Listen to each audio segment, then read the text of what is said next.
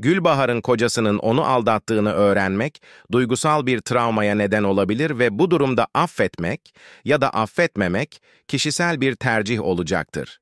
Her bireyin ilişki dinamikleri farklıdır. Bu nedenle bu tür bir durumu affetmek veya affetmemek konusunda genel bir öneride bulunmak zordur.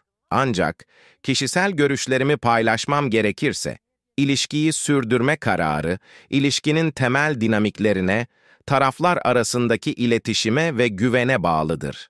Eğer Gülbahar, kocasının gerçekten pişmanlık duyduğunu hissediyor ve çift arasında sağlıklı bir iletişim kuruluyorsa, affetme yoluna gidebilir.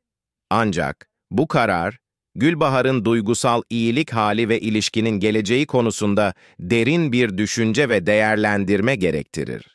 Güvenin yeniden inşası zaman alabilir ve çiftin bu konuda birlikte çalışması önemlidir.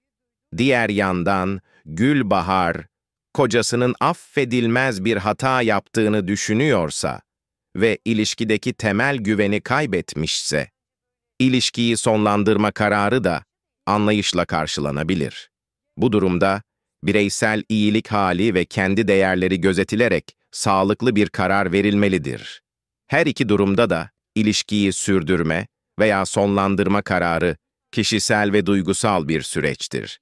Bu süreçte tarafların duygusal ihtiyaçlarına ve değerlerine saygı göstermek önemlidir.